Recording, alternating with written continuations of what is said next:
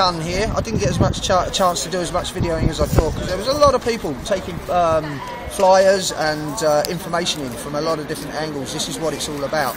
But we're now down here at the Hull History Centre where um, Colin Inglis is at the moment and he's giving some sort of uh, talk in there about why it's okay to poison the water for everybody.